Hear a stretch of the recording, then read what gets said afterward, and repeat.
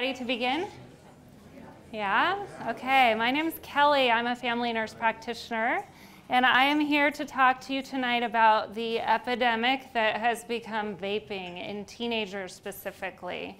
Raise your hand if you know or are a teen that um, has vaped, if you know of a teen that's vaped. Okay, so a few of you. All right, I expected a few more. well, hopefully this topic is relevant to all of you. Okay, so what is vaping? So vaping is um, basically the act of inhaling a vapor that's created by heating a liquid on a handheld electronic device. Okay? Um, dripping is another form of vaping, so you may hear dripping and vaping used simultaneously. But essentially, dripping is where the user drips the liquid themselves onto the heated element and it creates a vapor. And I guess that provides a more concentrated vapor. But, anyways, those are a couple of terms for it. Um, I've also included up here some names that vaping, the vape devices go by. One of which that's very popular now is the Juul. Um, we have e-cigarettes, pod mods, vape pens, tank systems, et cetera, et cetera. Um, vaping liquid can contain anything from nicotine to marijuana to other illicit drugs or just flavoring. Okay, so this is just a general vaping device. They all usually have the same three components. Um, first of all, they have the cartridge that contains the liquid.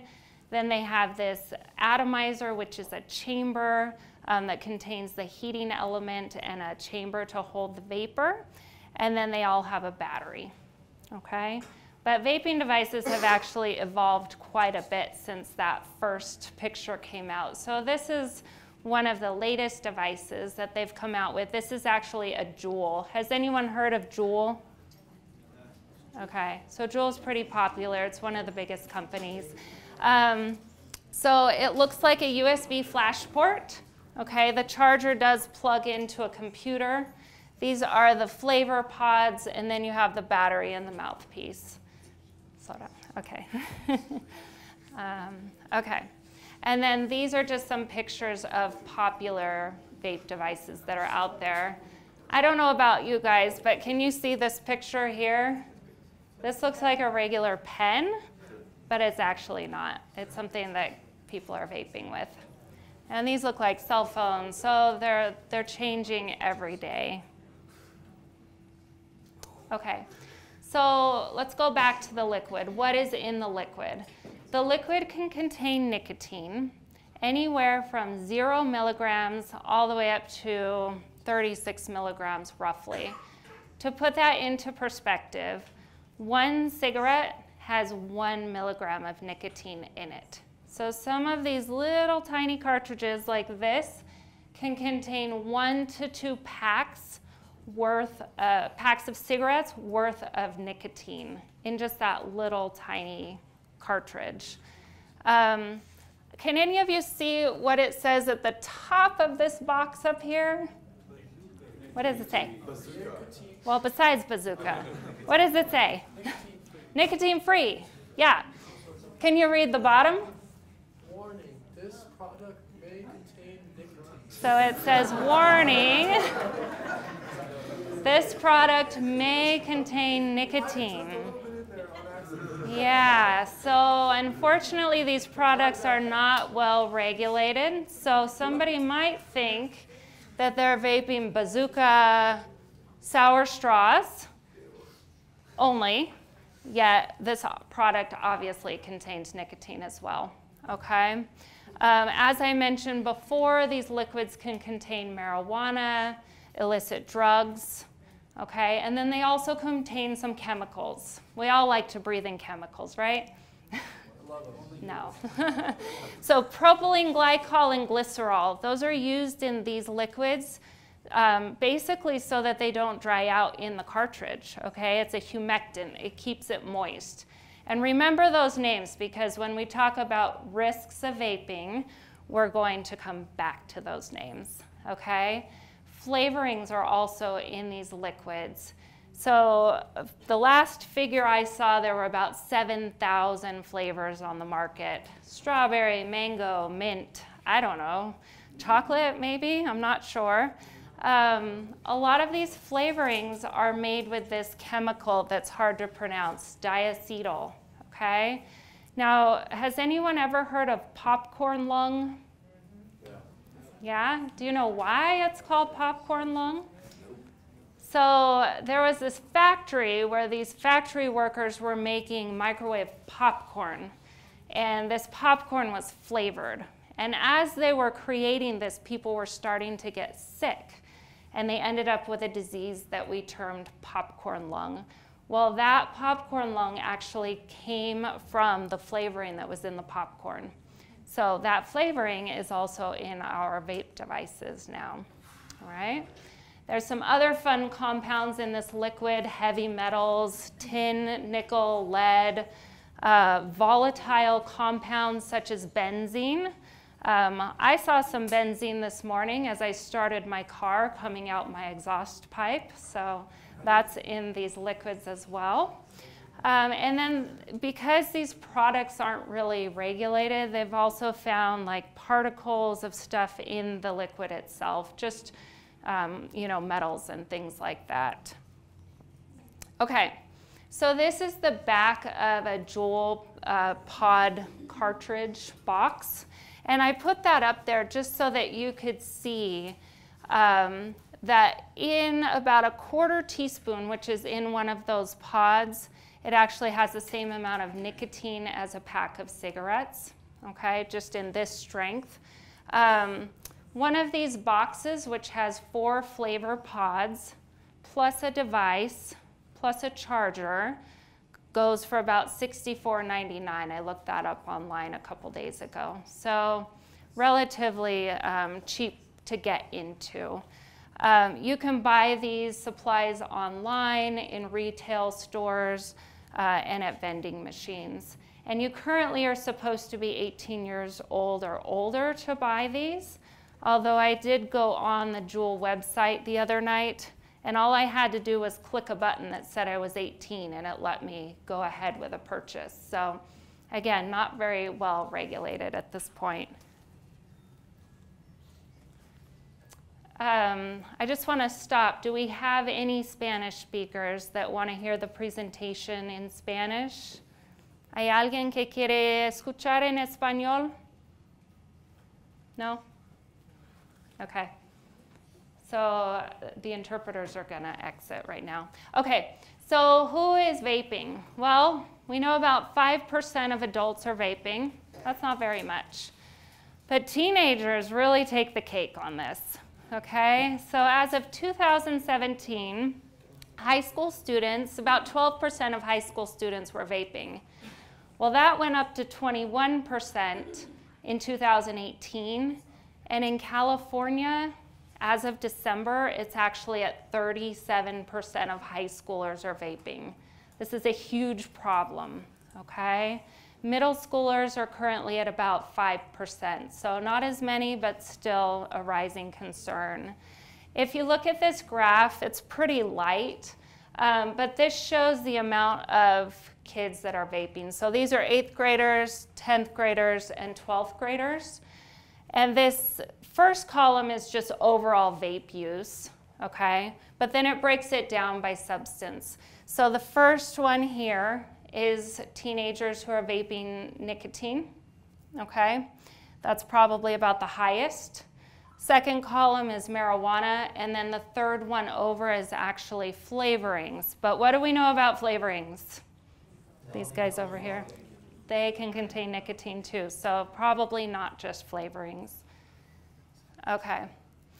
So we know that smoking in teenagers is on the decline. This graph just shows the different age groups and how it's declined over time.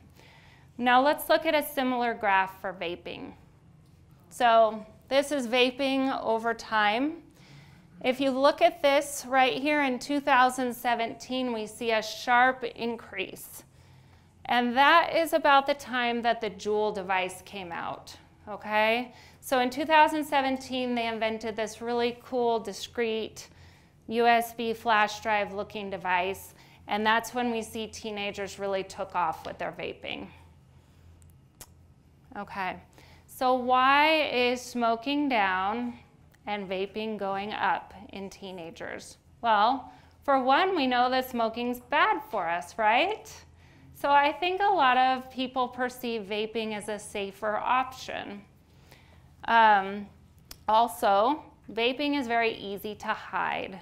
So when I was at the high school giving some lectures earlier this year, I learned that teenagers can just vape during class without even getting caught. So a lot of the students told me that they could put the device in their sweatshirt sleeve, they could put it down the front of their sweatshirt, and actually vape in the classroom without anybody noticing. Has anyone ever seen someone vape in the classroom? He has. All right. Yeah. Yeah. It's happening. You're not the only one. Don't worry.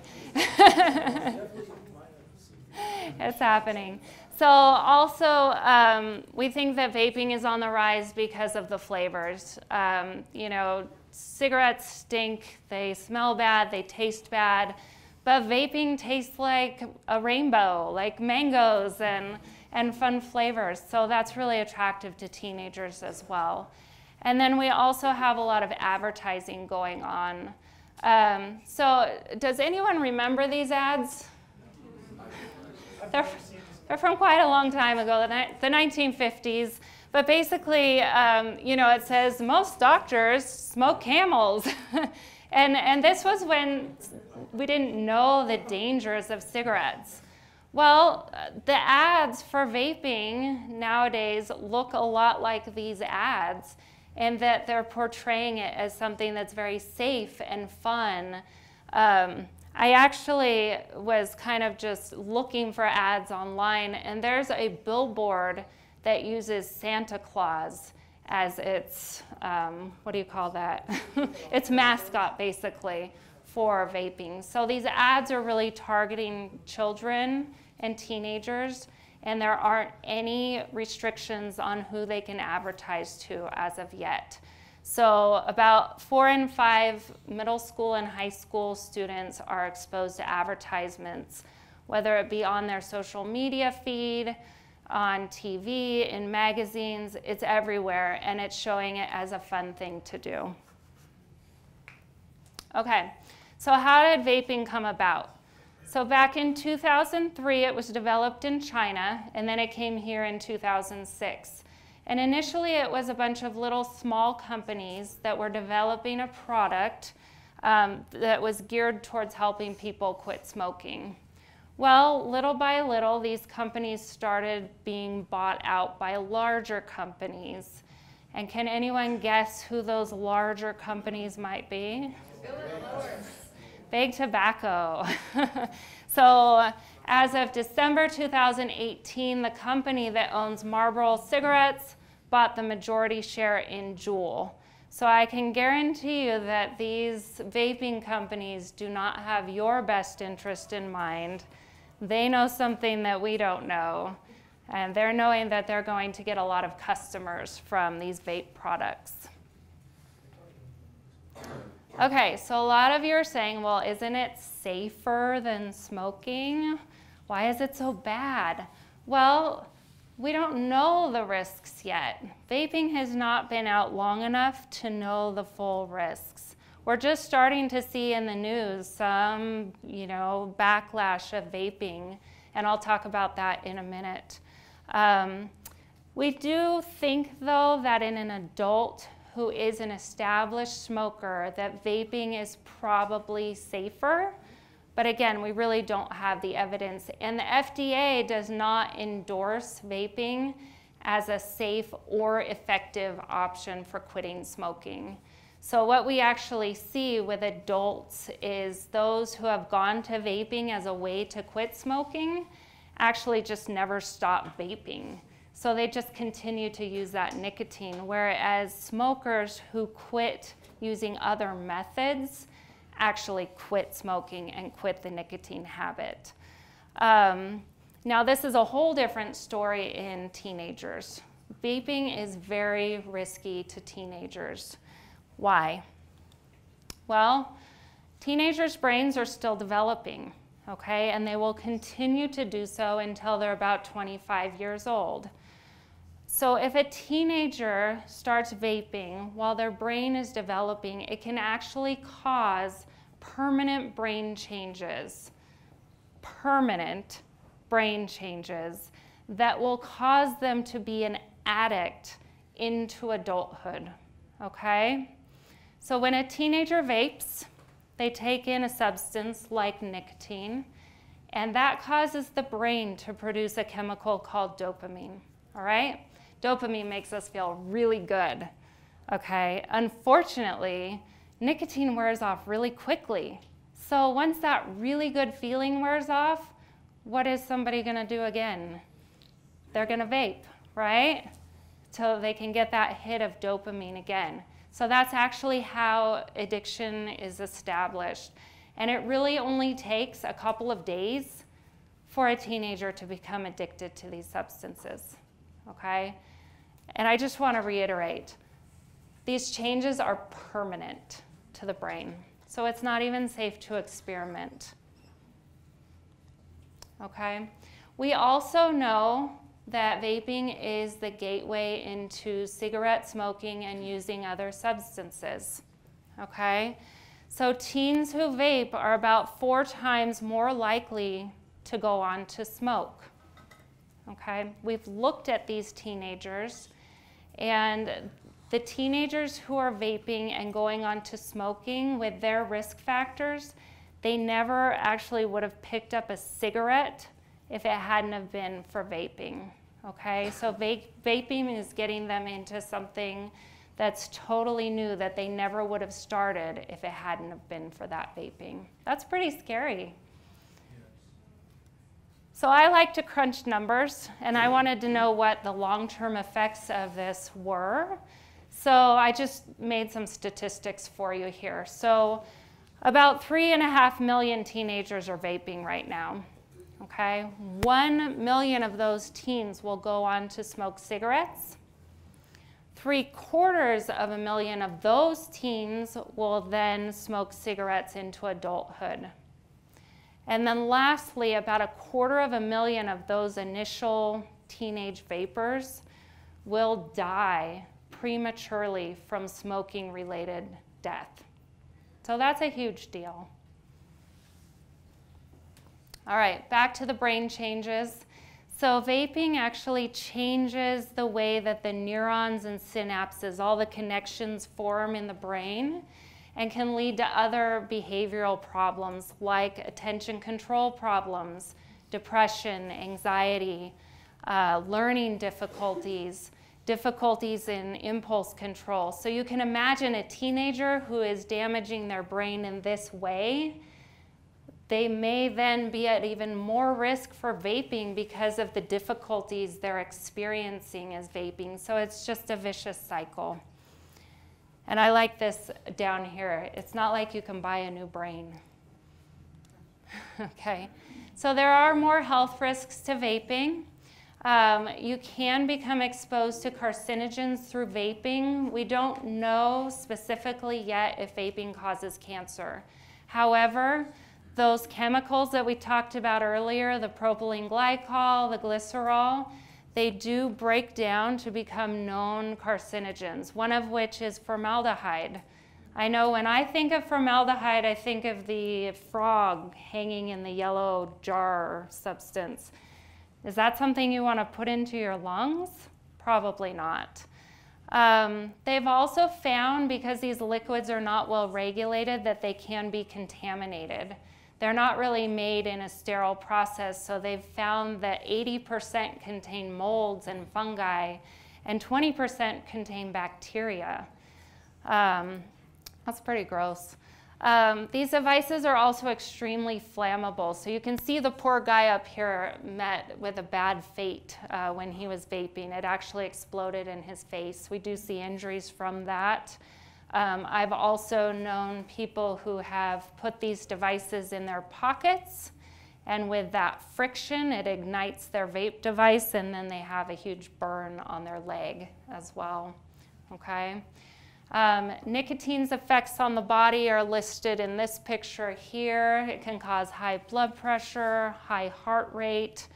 Um, and then, as we're learning in the news these days, the vaping is causing some lung disease. So, a recent survey showed that teenagers in California actually have more incidence of chronic bronchitis. That's not your acute two week bronchitis one and done. This is actually chronic bronchitis that these 11th and 12th graders are getting. Um, it can also lead to something called eosinophilic pneumonia, which is basically almost your lungs having an allergic reaction to the substance, which then goes on to cause a pneumonia. So this slide I probably could have made about five times in the last week because the numbers and statistics are changing so fast. So this information is obsolete. um, when I went back to look at it last night, the number of respiratory illnesses in the nation within the last year has gone up to 450 people, just from 200, you know, like last week. Um, the average age of these people is 19. So these are not older adults who have chronic conditions who are getting these respiratory illnesses. They're actually teenagers. And unfortunately, guys, it's men. Those are the higher risk categories. So 19 year old men are getting um, these vape related illnesses most commonly. Okay? Um, some of these people are ending up in the ICU. A lot of them are on life support. And then the death toll has gone up to about six as of yesterday. Um, as far as I could tell, the people who had passed away from vaping related illness were actually adults, but not all the statistics were available to me yet. Um, they have not found a causative agent for this vape related illness. So they don't know if it's a chemical or um, an infection in the liquid that they're taking in. Um, they think about 80% of the cases have been caused by marijuana liquid, whereas 20% have been nicotine.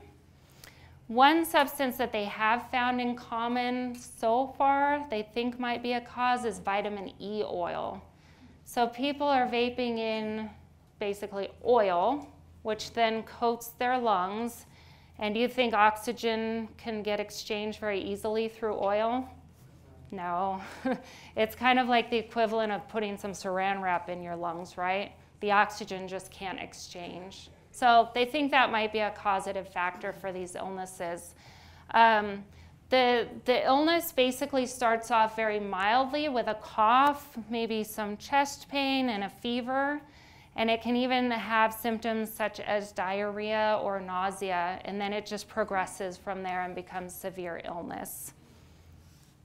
Okay, so vaping is not only dangerous to the person doing it, it's also dangerous to those around us. We all know about secondhand smoke. Well, secondhand vape also exists. This cloud here kind of shows what is in that secondhand vape cloud. That includes those carcinogens we talked about earlier, nicotine, benzene, and they actually took samples of blood from little kids whose parents vape, and they found nicotine in those children's blood. So we know that it can be transferred secondhand. And the scary thing about the vape cloud is even in a well ventilated room, that stuff can stick to the surfaces in your car, in your room, and somebody can actually touch that and then get those carcinogens and nicotine into their system that way. And it stays on the surface for 100 days, which is amazing to me. Um, we're also seeing a lot of nicotine poisoning, okay? Calls to the poison control centers have gone up dramatically. Um, there was one call a month in 2010, up to about 200 calls a month, just related to vaping. And the majority of those calls were for children under three years old, unfortunately. Uh, and, and you can imagine why. Do you see this picture up here? So this is e-liquid, and that is apple juice. So a small child is not going to know the difference between those two products. Um, to put that into perspective, if a 50 pound child, which I'm thinking is probably like a seven year old or so, took in five drops of nicotine from one of those cartridges, that's actually a lethal dose of nicotine. So this stuff is not anything to leave laying around where the small kids can find it. Okay, also there are environmental risks with these uh, vaping pods. So you've heard about the bans on plastic bags, plastic straws. Well, now we have a whole new set of plastic in vaping pods. Um, so it just becomes, you know, more of the litter in the environment. Um, currently, in all of the cleanups on the coast and urban areas, 40% of that waste is cigarette butts. And now I think we're going to be adding these e-pods into that waste. I was actually hiking in Alaska this summer on a glacier in the middle of nowhere, and I stepped on a Juul pod, which was pretty sad. So these things are getting into the environment, and they're leaking heavy metals and nicotine into our soils. Now, I thought a company such as Juul would actually have a recycling program for these pods. That would be the smart thing to do. But if you go on their website, they tell you, eh, just put it in the garbage. It'll be fine. So, all right. So, current legislation in California, there are two Senate bills. Uh, unfortunately, Senate Bill 38 has already been pulled out as inactive. It's been put on the shelf for next year. Um, that would have prohibited the sale of flavored tobacco in retail shops and vending machines so that people couldn't get a hold of it that easily. But unfortunately, it's out. Senate Bill 39 is still on the table. They're still deciding on it as of August of this year. And this one's actually really good because it would make it so that the companies had to label their products very conspicuously as tobacco products. You couldn't have those look-alike products like I showed you earlier. Um, and it would also require the person purchasing the liquid to be 21 years or older. So if they bought it online, then the delivery person would actually have to see proof of ID that the person signing for it who bought it was 21 years or older. So I think that would help a lot um, cut down on the teenage vaping as well. And actually, um, in San Francisco, so at the city level, San Francisco, as of July, has banned the sale of e cigarettes and vaping products completely. Okay, so something can be done at a local level. Um, okay. Oh, and also, so as of yesterday, see the news is changing all the time. As of yesterday, the Trump administration actually said that they were going to try to get a ban on all um, flavored tobacco product sales, so the flavored vape sale. So they're working with the FDA on this right now. From what I could tell, it might take a couple of months to even roll out, but at least they're working on it. Um, the FDA has been involved since 2016 in regulation of these products. They did put the age limit to 18 um, on who, that they, who they could sell to. Um, they're also requiring warning labels and they're requiring that their products are registered with an ingredients list. When I went online to, to submit a product, you don't actually have to submit the liquid for any sort of testing. So from my standpoint, you could still just really put any ingredients you want on a product.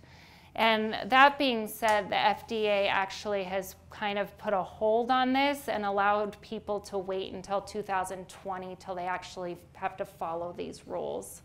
They're also issuing a lot of warnings on the look-alike products as well. So this is another one. We've got Captain, no, Cinnamon Toast Crunch over here, e-liquid over there. Looks pretty similar. It's very misleading. So, which teens are going to be more likely to vape? We kind of talked about this earlier. Um, and one of the number one things is that if they have a family member in the house who is vaping or smoking, they're going to be more likely to do the same. All right? Teenagers who are depressed or are, have mental illness in the family are more likely to vape.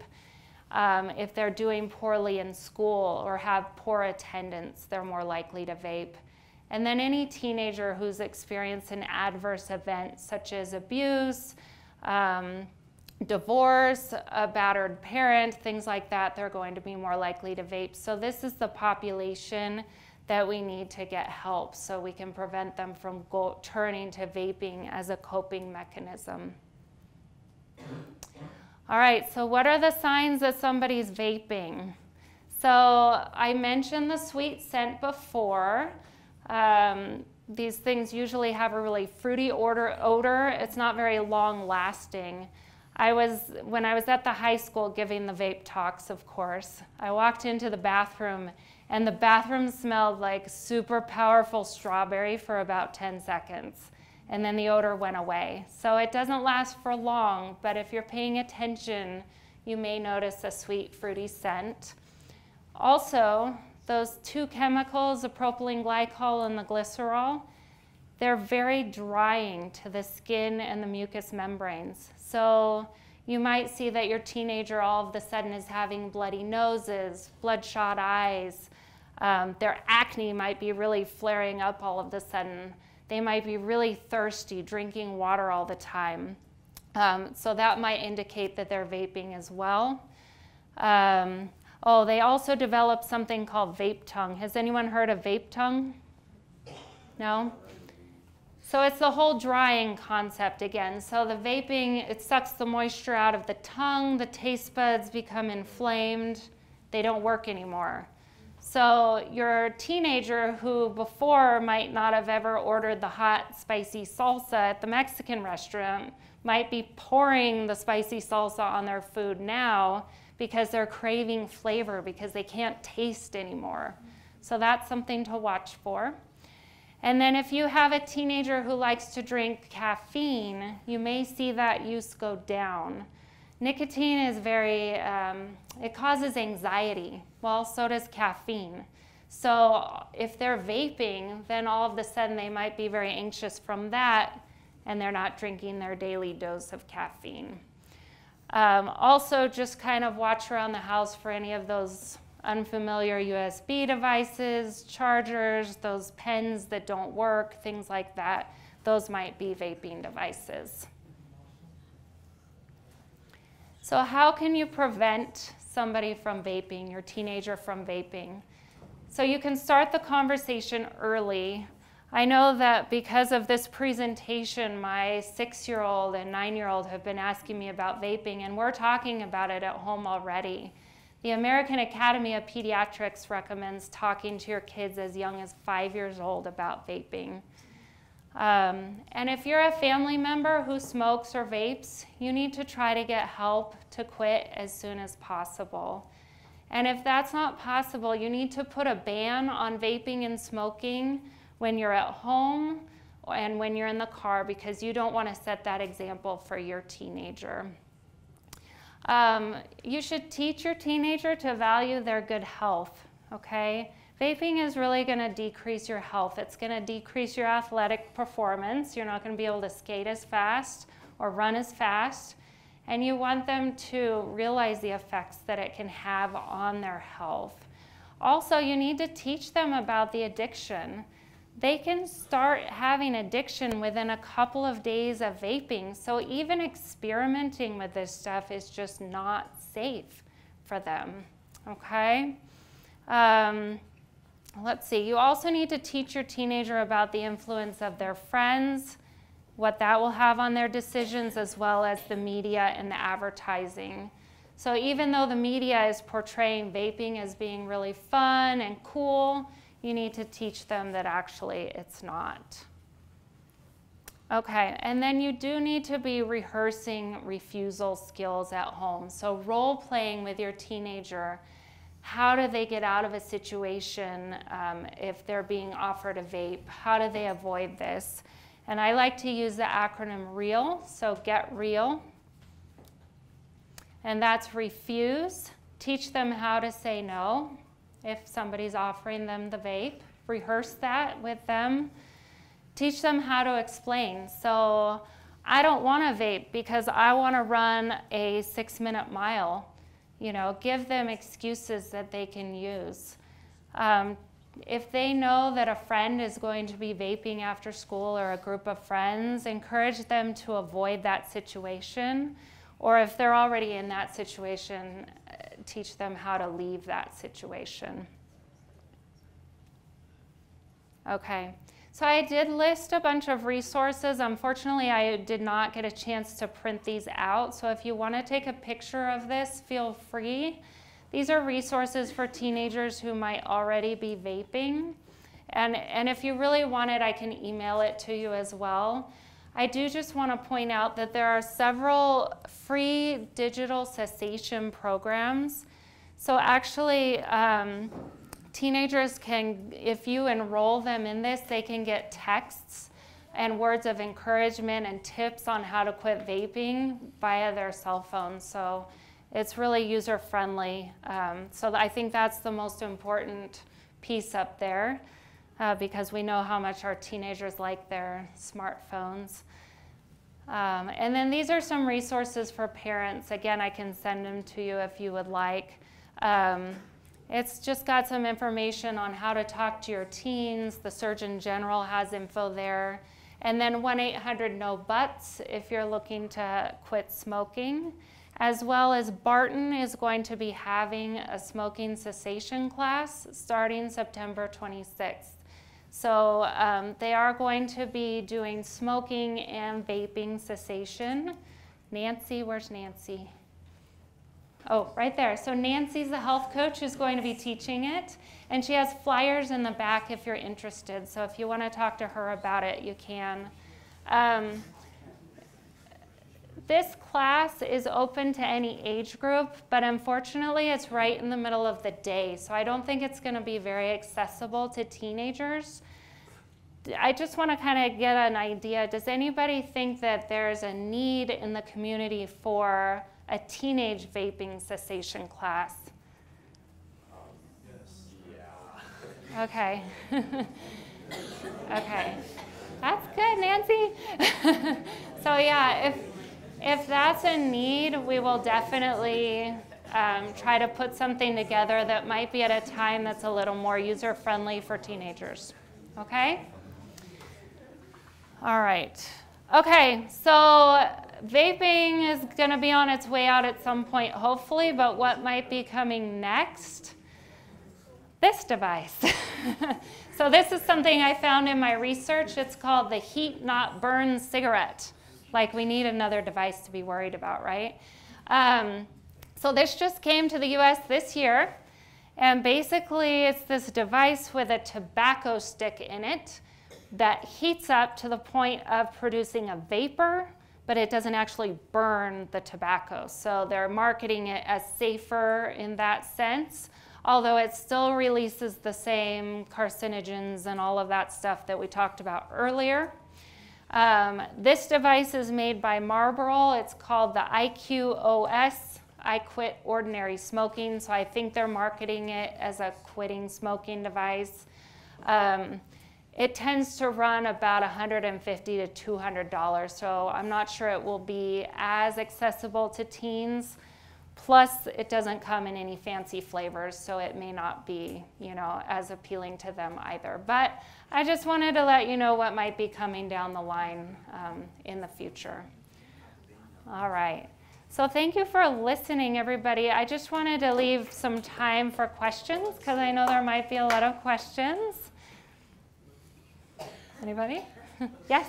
Is the vitamin E oil only in the THC products or is it in the nicotine products? So the question is, is the vitamin E oil in only THC or is it also in the nicotine? They found it in both products. It's not consistent throughout all the products, but there is a similar substance in a lot of the products because it maintains that moisture.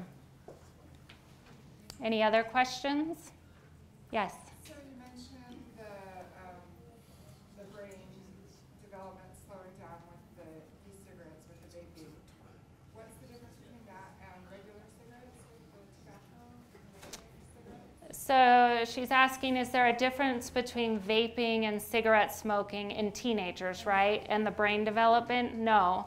So any um, any substance that's potentially addictive, doing it as a teenager can create those same changes to the brain. Yeah. Other questions? In the back? You guys seen any vaping-related illnesses uh, here in Tahoe? Um, not specifically that I'm aware of, no. No vaping related illnesses yet that I'm aware of.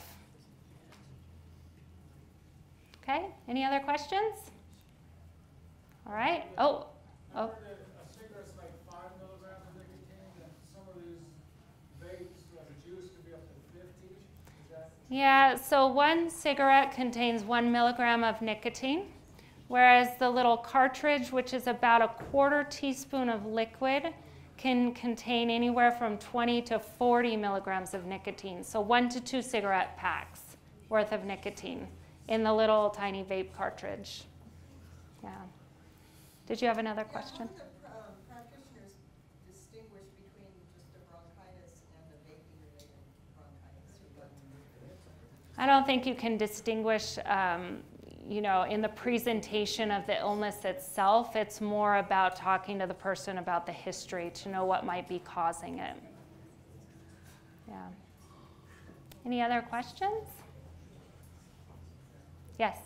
So the government is very active in preventing cigarettes with children, advertising cigarettes and things like that. Mm-hmm. Obviously not the case with this vaping thing. Correct. Is there, is there a movement for that to, to start happening? And if not, is there, I mean, are there some groups doing petitions and things like this to get them to stop doing this? How do, how do we get actively, Involved. get proactive with this rather than wait, you know, wait for it to take the thirty years that it took for smoking to? Right, so he's acting or asking about um, any movements to ban the advertising. As of right now, nobody is working on banning the advertising, um, and it's a free for all to any age group at this point.